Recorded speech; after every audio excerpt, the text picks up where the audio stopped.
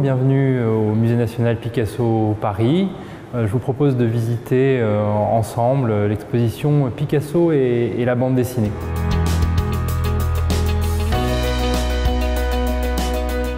L'idée de, l'exposition était de montrer les liens euh, entre Picasso et la bande dessinée, des liens qui sont plus profonds et plus divers que ceux peut-être qu'on pourrait imaginer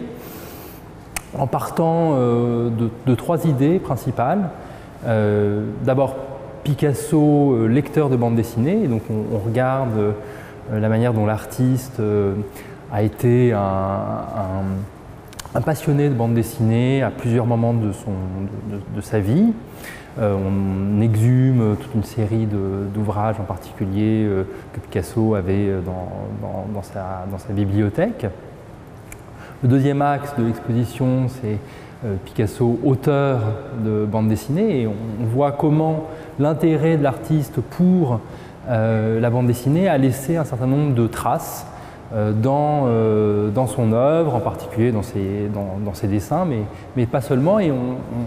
va vous montrer un certain nombre d'exemples dans l'exposition. Et puis enfin, la troisième idée qui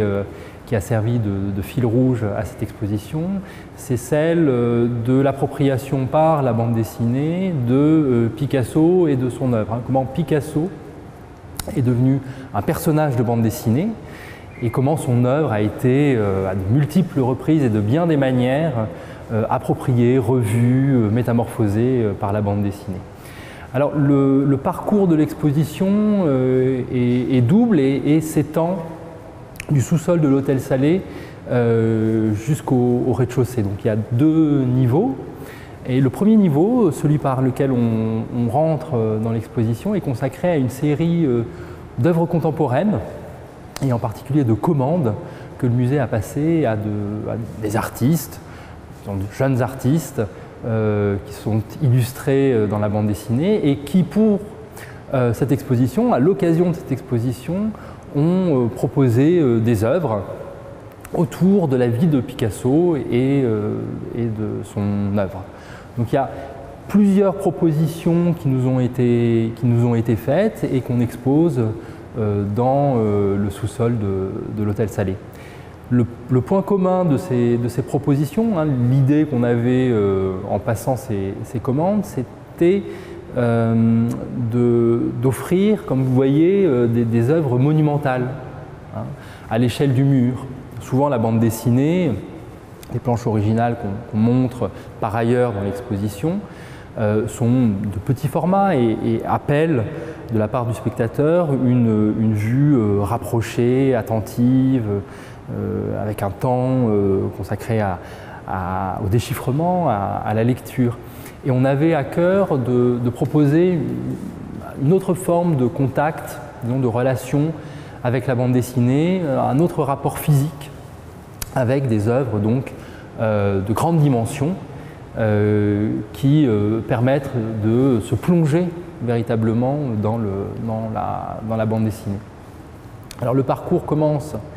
avec l'œuvre de, François Olisleger, une vie de, Pablo Picasso qui s'étend donc sur ce mur qui fait 13 euh, mètres de long et euh, sur lequel l'artiste a euh, offert une sorte de, précipité de la vie et de l'œuvre de Picasso. Une manière de, non pas peut-être de résumer, mais d'agréger un certain nombre de moments significatifs euh, et, d'œuvres marquantes euh, de Pablo Picasso. Alors on en reconnaît euh, de nombreuses. D'ailleurs, beaucoup sont dans les collections du, Musée national Picasso Paris. Et le, jeu peut-être que le, spectateur peut faire, c'est celui voilà, de, de, la reconnaissance, de, des, liens également entre biographie et œuvre que propose de déchiffrer euh, François Hollisleger. Alors l'un des, éléments de, cette œuvre, c'est de se substituer en quelque sorte aux chronologies, aux textes d'introduction que propose souvent les, musées monographiques, c'est-à-dire les musées qui sont consacrés à un seul artiste. Et là, on a une sorte de chronologie de frise en images qui permet d'appréhender euh, l'ensemble de l'œuvre de, Pablo Picasso, puisqu'on commence tout à gauche euh, du mur avec la naissance jeune Pablo euh, et son enfance à Malaga, et on va jusqu'à Cannes, jusqu'à Mougins, jusqu'à la mort. Hein. Si on prend un peu de champ sur cette œuvre, on peut voir que François Ulysse Leger a euh, en quelque sorte euh, précipité tous ces détails, ces, interprétations de l'œuvre de Picasso à l'intérieur d'une forme symbolique, euh, celle de deux grands taureaux, hein, un des animaux emblématiques de, Picasso et de son œuvre, et qu'on a ainsi l'ensemble de, l'œuvre de, Picasso qui vient en quelque sorte rentrer dans ce moule-là des, deux taureaux et qui permet donc de, parcourir euh, l'œuvre de Picasso euh, à travers voilà, une œuvre unique. Je vous propose de, continuer le, parcours en, nous avançant euh, dans le, sous-sol de l'hôtel Salé.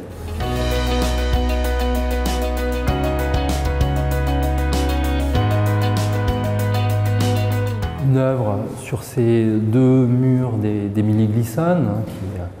montre euh, deux anecdotes euh, de la vie de, Picasso, des anecdotes euh, voilà, du quotidien de Picasso qui montrent l'homme davantage peut-être que, l'artiste. Ou encore cette œuvre de, Marina Savani qui donne à voir la, dimension mythique, mythologique de l'œuvre de Picasso. Donc des propositions très différentes les unes des autres et qui permettent euh, dans ce sous-sol de l'exposition d'avoir une sorte de, vision euh, de l'extrême diversité euh, des, propositions de la jeune scène contemporaine en, bande dessinée et de montrer la, multiplicité des interprétations possibles sous la forme d'hommages, de, de, parodies, de réinterprétations, de, métamorphoses de l'œuvre de Picasso par la, par la bande dessinée. la dernière grande œuvre du, parcours au, sous-sol, du parcours contemporain, euh, est celle de, Sergio Garcia Sanchez, Guerra, qui euh, propose euh, là aussi à une échelle monumentale un, parcours à l'intérieur peut-être de, l'imaginaire le plus sombre du XXe siècle avec l'histoire hein, de l'ascension d'un dictateur, euh, de la guerre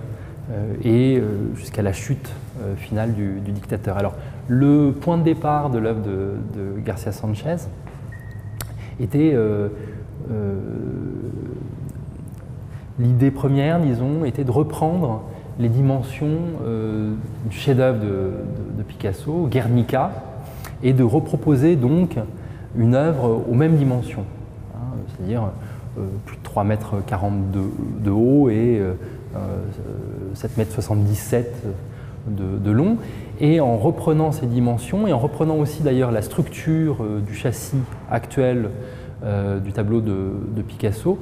Sergio Garcia Sanchez héritait en quelque sorte d'une structure dans laquelle il est venu travailler à l'encre sur papier euh,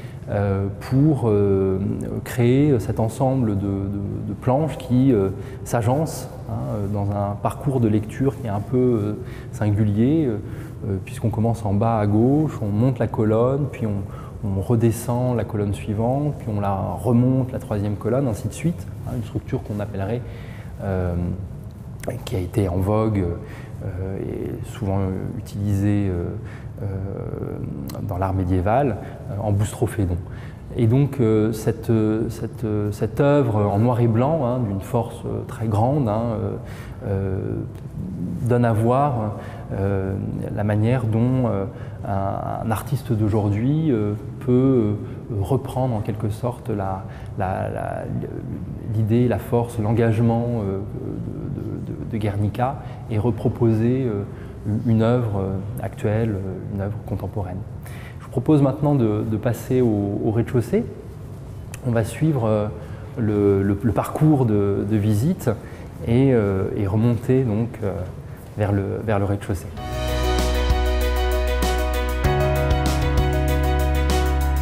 Alors on est ici dans la, première salle du parcours du rez-de-chaussée qui est parcours euh,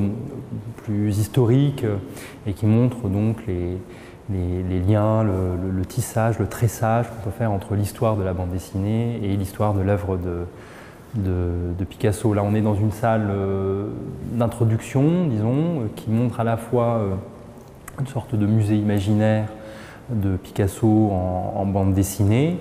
et puis des, dialogues, des vis-à-vis, des rencontres euh, entre des œuvres de, Picasso et des œuvres de, bande dessinée. Donc on a, euh,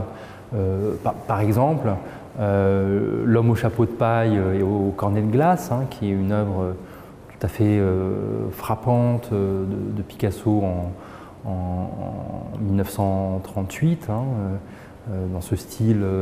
bien particulier qu'il développe à, l'été à, Mougins. Et puis, euh, euh, en vis-à-vis, on a euh, la, reprise de, l'œuvre de Picasso dans un dessin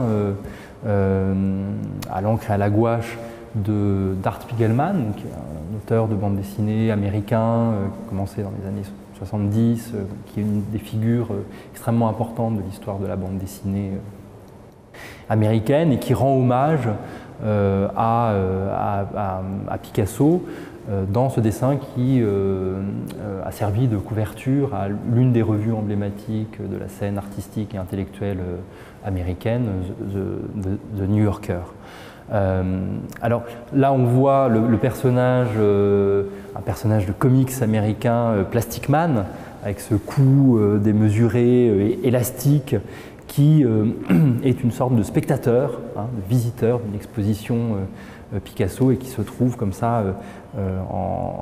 en, arrêt hein, face à l'œuvre de, Picasso. À côté, on a un autre, une autre citation de, Spiegelman, d'un cheval de, Guernica. Et c'est comme si, en quelque sorte, euh, Spiegelman faisait euh, se rencontrer deux imaginaires, deux cultures, hein, deux, de manière de représenter le monde, euh, celle des comics américains et euh, l'art de Picasso. Entre les deux, vous avez euh, ces sortes de, spectateurs anonymes, hein, presque caricaturés, et qui font donc là une sorte de décor entre cette, cette rencontre entre l'univers des comics et, Picasso. On a toutes sortes d'autres œuvres dans cette, dans cette salle. Hein. Je ne pourrais pas parler de, toutes, mais bon, le visiteur est accueilli quand même par ce cube de Philippe Guéluc, le vrai cubisme, avec son personnage euh, devenu extrêmement reconnaissable et emblématique euh, depuis euh, plus de 30 ans, le chat, qui, voilà, le, cubisme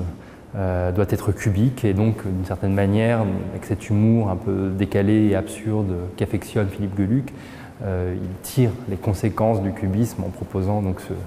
ce, cube avec le chat qui vient euh, expliquer le cubisme.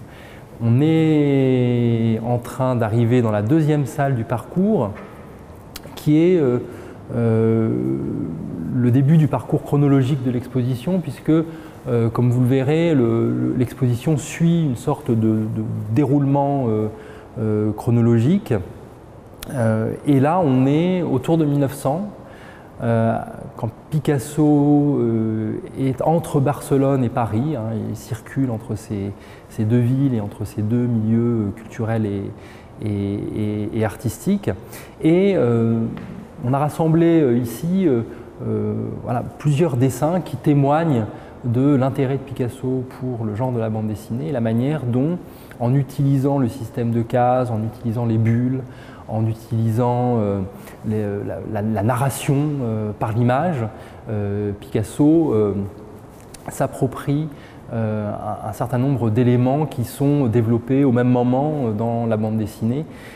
qui se développent hein, prodigieusement à la fin des, dans la dernière décennie du 19e siècle et au début du, XXe siècle. Alors on a ce petit dessin qui est peut-être le plus bande dessinée de, Picasso, Histoire claire et simple de, Max Jacob, où Picasso vient en quelques cases hein, raconter l'histoire de son ami, le poète Max Jacob, qui va rencontrer en quelque sorte la fortune et la gloire en arrivant à euh, vendre un, manuscrit à, un éditeur. Euh, Picasso, euh, en quelques traits, hein, arrive à camper un personnage, ici Max Jacob, mais ça peut être aussi Apollinaire ou d'autres de ses amis. On peut penser également à Sabartès, qui est un des grands personnages picassiens jusqu'à la fin de son, œuvre, et avec un humour certain, euh, Picasso s'approprie ainsi le système de la, bande dessinée pour raconter une petite histoire. On a proposé à plusieurs artistes euh, contemporains de reprendre l'œuvre de Picasso, Histoire claire et simple de Max Jacob, pour en donner leur version. Euh, mais, et c'était le, principe et le retournement de la commande, de l'appliquer à Picasso lui-même, c'est-à-dire non pas faire Histoire claire et simple de Max Jacob, refaire, mais euh, faire Histoire claire et simple de Pablo Picasso. Et donc on a eu trois propositions très différentes les unes les autres, dont ce, très beau pastel de, Catherine Meurice, qui montre Picasso reprenant certaines photographies. On voit Picasso au travail, en particulier dessinant avec une sorte de faisceau lumineux. Et là, l'artiste est en train, en quelque sorte, de créer euh, les cases dans lesquelles euh, euh, il va ensuite être mis en histoire. Hein. On, est ici, d'une certaine manière, au seuil de la transformation de Picasso en personnage de bande dessinée, hein, à l'origine de, cette fabrique qui est l'un des éléments historiques qu'on développe dans l'exposition. Je me permets de, de m'arrêter ici pour montrer dans ces vitrines une série d'ouvrages, hein, euh, journaux, euh, livres, euh, revues, qui sont tirés de la bibliothèque de Pablo Picasso, qui, sont, qui est conservée pour partie dans les archives du Musée national Picasso Paris. Et on a fait un travail d'inventaire, de récollement, de, recherche pour faire sortir de cette bibliothèque tout ce qui pouvait avoir un rapport avec la bande dessinée et ainsi montrer euh, parcourir, cartographier en quelque sorte ce que Picasso avait pu voir dans la bande dessinée euh, tout au long de, sa vie et de son œuvre. C'est donc l'un des autres euh, centres de gravité de l'exposition que de regarder et de chercher quel lecteur de bande dessinée Picasso pouvait être. Et on a un certain nombre de témoignages qui permettent de documenter euh, les intérêts de Picasso pour la bande dessinée. Le principal, peut-être, celui qui a servi euh, de point de départ à l'exposition, c'est le, témoignage, ou plutôt les témoignages, puisqu'on en a plusieurs, euh, de Gertrude Stein qui disent l'intérêt fort de Picasso pour les, premiers comics américains qui paraissaient dans les, journaux, hein, qui connaissaient une forte croissance et qui rencontrait un public de plus en plus large euh, dans ces années-là. Et euh, Gertrude Stein, donc l'écrivaine, euh, l'amie, la collectionneuse de, Picasso, de Matisse aussi, servait d'intermédiaire pour communiquer à Picasso ces, journaux américains et en particulier les, suppléments dominicaux, les, les, Sunday Pages, où paraissaient les grandes planches en, couleur des premiers auteurs de bande dessinée, Richard euh, euh, George Herriman, l'auteur de Crazy Cat, Winsor McKay, l'auteur de, Little Nemo, euh, ou encore Rudolf Dirks,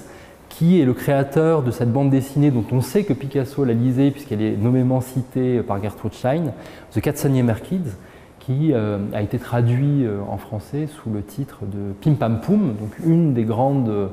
bandes dessinées de l'époque qui a marqué euh, une génération et même, même plusieurs. Alors, ce euh, sont des bandes dessinées euh, qui, dans leur style et dans leur, leurs thèmes, sont très variés d'ailleurs. Hein. Little Nemo, Nemo développe un imaginaire onirique, très, surréaliste en quelque sorte. Crazy Cat, lui, a plutôt une dimension de, voyage en absurdie avec ces, figures animales qui se, battent et se disputent pour des, motifs qui en apparence dérisoires mais tout en sortant de grandes vérités sur le, sur le monde. Et puis on a ces bandes dessinées qui donnent une grande place à des formes de gags visuels qui ont beaucoup intéressé et dû faire rire Picasso qui euh, voilà, a un intérêt, disons, pour le, comique, l'humour, qui est souvent euh, sous-évalué euh, et sous-estimé dans, son œuvre. Alors, l'un des, fils que l'on tire dans l'exposition, c'est aussi le, retentissement qu'a pu avoir l'intérêt pour la bande dessinée chez Picasso dans le, dans cubisme, et on voit en particulier ici l'homme à la pipe, qui, dans sa structure, euh, dans sa manière de recomposer la, réalité, d'intégrer aussi la lettre à l'image, n'est pas sans rapport euh, avec ce que produit, disons, comme, euh, effet la bande dessinée au, même moment. Alors on continue le parcours, là longe la, bibliothèque picassienne qu'on a, qu'on a reconstituée, et on va arriver dans la salle consacrée à Songes et mensonges de, de Franco, qui est souvent citée comme euh, euh, l'exemple euh, majeur de cette appropriation de la bande dessinée par, Picasso avec, vous voyez, cette utilisation par l'artiste d'un système de cases, deux planches de neuf cases chacune qui racontent, pour autant qu'on puisse utiliser vraiment ce, terme,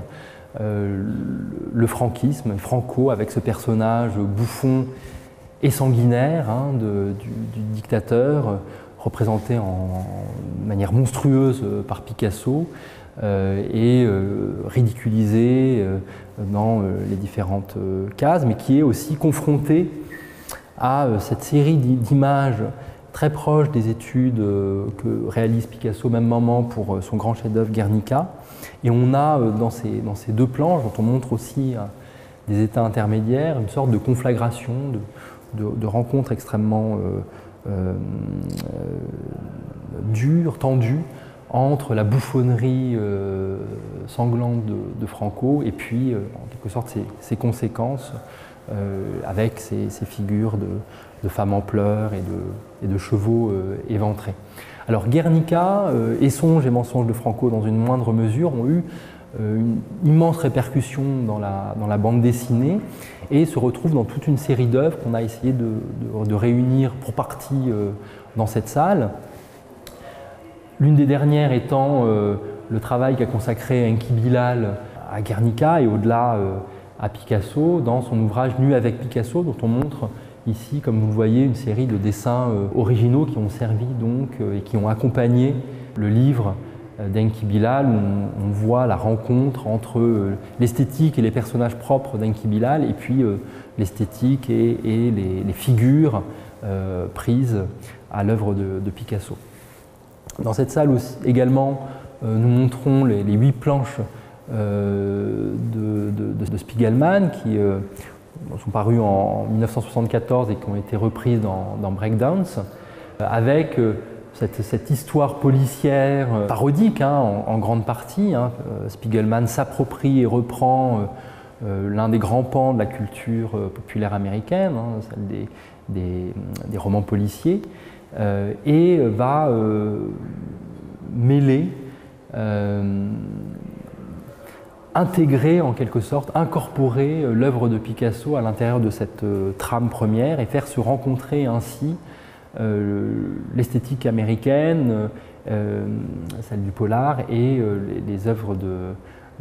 Picasso. Là, on a une figure, par exemple, inventée par Spiegelman qui reprend pour la tête un personnage de, Picasso, mais qui lui met des bottes. Et voilà, là, elle part par la porte et elle dit adios, amigo. Mais on a toute une série d'autres jeux comme ça où Spiegelman travaille aux, frontières euh, entre Picasso et euh, le, comics américain et plus largement la culture américaine pour montrer aussi tous les liens de parenté entre ces deux, ces deux univers, s'inspirant d'ailleurs d'œuvres bien réelles de Picasso dans son travail, dont ce magnifique portrait de Marie-Thérèse qu'on vient ainsi montrer en dialogue avec l'œuvre de, Spiegelman. On arrive ici dans, la quatrième salle du, parcours qui est consacrée au dialogue entre Picasso et la bande dessinée sous le, genre du, enfin, sous le prisme, on va dire, du dessin. En quelque sorte, euh, le, dessin euh, est une sorte de cause commune, de terrain commun entre euh, Picasso et la bande dessinée, même si en faisant d'un seul bloc comme ça, en résumant l'ensemble de la bande dessinée sous le terme la bande dessinée, c'est peut-être une forme de raccourci. Mais on a voulu montrer comment le dessin était extrêmement important et pour montrer comment les artistes de bande dessinée finalement travaillaient de manière pas si dissemblable et si différente par rapport à la manière dont travaillait Picasso. Et on peut s'appuyer en particulier dans cette salle sur plusieurs œuvres filmées, images en mouvement, qui montrent Picasso au travail. Alors on connaît euh, le mystère Picasso, hein, le film d'Henri-Georges Clouzot tourné en 1955. Il y en a plusieurs autres qui montrent Picasso au travail. On a l'équivalent en quelque sorte dans l'histoire de la bande dessinée avec ces émissions télévisées euh, qui ont montré euh, les auteurs de bande dessinée au travail. Et je pense notamment à, cette émission que nous mettons en valeur ici dans cette, dans cette salle, Tac au Tac, créée par le génial Jean Frappa, qui, à la fin des années 60 et au début des années 70, avec cette inventivité propre à l'ORTF de cette, de cette, époque, a, mis en scène euh, le, travail des dessinateurs de bande dessinée. Alors cette émission a eu une telle importance dans le milieu français et européen de, la bande dessinée qu'elle euh, a été, euh, elle a été parodiée par Gottlieb dans Tac au Tac Sanobli, où on voit, comme vous voyez, euh, Picasso, Bernard Buffet, Dali et Reiser qui participent à une, euh, émission en commun euh, et qui vont s'affronter en quelque sorte sur un, tableau en créant un, cadavre exquis. mais la chose finalement va, enfin finalement, assez rapidement en réalité, va dégénérer et euh, tourner au, pugilat euh, généralisé. Euh, et Gottlieb, voilà, avec à la fois la, finesse de trait et l'humour tranchant qu'il caractérise, imagine donc cette, émission de tac au tac où Picasso et Reiser se, rencontrent. On va, on va continuer le parcours et le, terminer avec cette dernière salle qui est consacrée euh, à la fabrique du, personnage Picasso. Hein. Picasso euh, devient, euh, dans la deuxième partie du XXe siècle, un, personnage de bande dessinée. Alors on a des exemples assez anciens de scénarios, sur des scénarios par exemple d'André Breton, euh, des euh, illustrations également de Maurice Henry, qui remontent aux années 40, mais disons que le phénomène euh, s'accentue et s'accélère à partir des années 2000 avec plusieurs albums qui paraissent sur Picasso et qui sont à chaque fois des biographies, mais des biographies un peu singulières hein, et qui prennent des chemins de, traverse. je pense au travail de Nick Bertozzi, euh, bande dessinée américaine qui euh, plonge dans le, dans le fantastique, le, travail de Daniel Torres, euh, Picasso s'en va en guerre, qui imagine une sorte d'histoire parallèle, une vie parallèle, une vie rêvée de, Picasso pendant la guerre d'Espagne. Et puis évidemment, dans, le domaine français, on ne peut pas aborder la question des rapports de Picasso et de la bande dessinée sans citer le, travail tout à fait important de, Clément euh, scénarisé euh, euh, par Julie Birman, Pablo, qui a fait l'objet de quatre, albums, quatre tomes, et qui constitue une plongée, une exploration émouvante dans le, Paris du début du XXe siècle, en suivant Pablo dans les, cafés de l'époque, dans l'exposition universelle à Paris en 1900, dans les salons de Gertrude Stein ou au musée du, Trocadéro, rencontrant euh, les arts euh, euh, extra-européens. Et on a réuni, comme vous voyez sur ce mur, un ensemble de planches en couleur que Clément Brery a créé en parallèle, et en plutôt de grande dimension, en parallèle à son travail sur, les, albums. Donc on a dans cette exposition, on retrouve ici, ici Geluc avec le personnage. Je, nous arrête un instant sur ce, sur ce, tableau où on retrouve évidemment là dans la, le, caractère, la, forme de réduction et de, travail à l'os de l'humour de, Geluc. Picasso en, marinière, donc immédiatement reconnaissable même s'il est de dos, et le, texte dit Picasso se rendant compte qu'il est le seul peintre au monde à ne pas pouvoir faire de faux Picasso. Donc ce travail sur le vrai et le faux, sur le, les, faux semblants, le, les, faits et fiction en quelque sorte, est aussi euh, l'une des, lignes de fuite euh, que euh, propose ce parcours Picasso et, la bande dessinée qui essaye de faire se dialoguer les œuvres de Picasso, les dessins, les peintures euh, et, l'histoire de, la bande dessinée, en cherchant à, montrer tout ce que cette question peut avoir d'historique et d'enraciné historiquement, mais aussi de, très, contemporain. Le, parcours se termine ici. J'espère que vous avez un peu mieux euh, compris euh, ce que le, Musée national Picasso propose à travers euh, l'exposition Picasso et, la bande dessinée, un parcours assez varié dans les œuvres qu'elle propose et essayant de faire dialoguer sur un, sur un pied d'égalité, disons, le, travail de, Picasso, hein, qui, par sa, force et son, son extraordinaire diversité, euh, saisit souvent euh, le, spectateur et le, stupéfait. Et puis euh, les planches, plus d'une centaine de planches de, bandes dessinées qui viennent dialoguer avec les œuvres de, Picasso et peut-être à leur manière hein, les interpréter, parfois en prendre le contre-pied, parfois